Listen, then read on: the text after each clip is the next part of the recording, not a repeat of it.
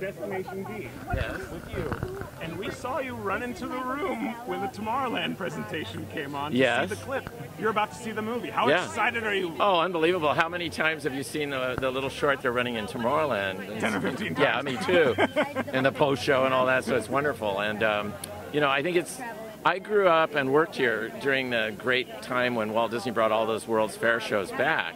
And I remember throwing my hot dog away to get in to see Carousel of Progress. So now we're going to see kind of the next step of all that. So we erased the years in between and went right from what Walt did then to whatever they've conjured up now. So I'm really excited to see. I think what's going to be the first inspirational or positive tomorrow that's been on the screen in a long, long time. So Well, I'm tired of excited for- dystopia. we're excited for you to see the movie. yeah, I am so too. Enjoy. Okay, Good, good all right. talking to you. Okay. One question for you too. So, if you were to take a dystopia, like we live, I guess, in a dystopia, some people say.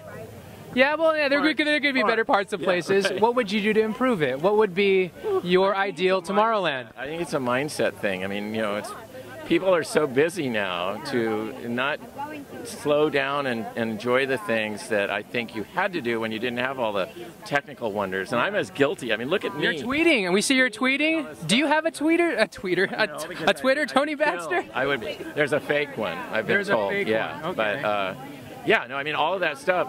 You only have 24 hours, Yeah. and like this much, this much, this much. I was up. I bought a cabin, and I was up there yesterday. It's like this deep in snow, Oh wow. and it's only one hour from here. Yeah. That's amazing. That's your Tomorrowland. Yeah, it is. You know, when you say to get away from dystopia, I think everyone would want to be along a river somewhere in a beautiful forested zone, and you know that's the tomorrow. I have, I even made a joke when we were struggling with this a few years back. I said, let's just take the Tomorrowland plaque and move it from where it's located over to Frontierland.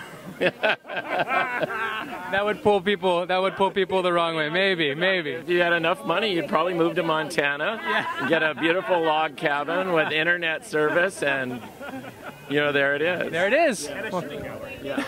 Thanks, Tony. Appreciate it.